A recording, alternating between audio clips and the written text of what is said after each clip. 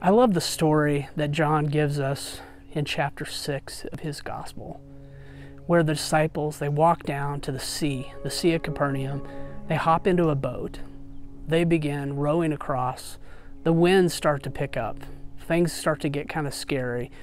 And then they really get scared. Why? Because they see Jesus walking to them on the water. Wow, who's ever seen anything like that? They're blown away and they're terrified, right? Because who's seen a man walk on the water before? Now, you might not have thought about this before, but that does say something about Jesus' manhood. You know, we believe that Jesus is God and man.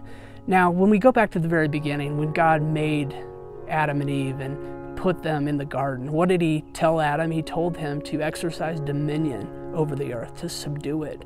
So, Jesus, as the perfect man there, walking on the water, is saying, Hey, I'm ruling over the waters. I'm ruling over the earth as I was meant to do, as you were meant to do. But of course, it says more than that.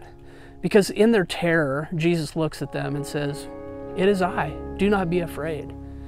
And that word in the Greek, it is I, ego eimi, points back to what God told Moses back in Exodus 3 when Moses says, Hey, you're telling me to go tell the people that you sent me.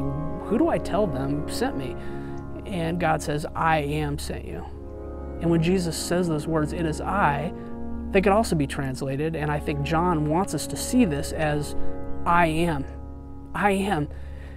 And of course, that's a name for for God. God gives that name to Moses, He gives it to us. He is the one who exists in and of Himself and exists forever and ever and ever. He's God. And so I want to bring this to the current situation.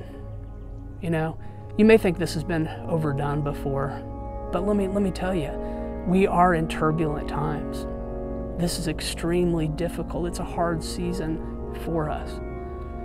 But God's people have gone through things like this for generations since the very beginning. And I just want you to hear me no matter how hard the waves become, no matter how turbulent the seas, the God man, the one who rules over everything, right?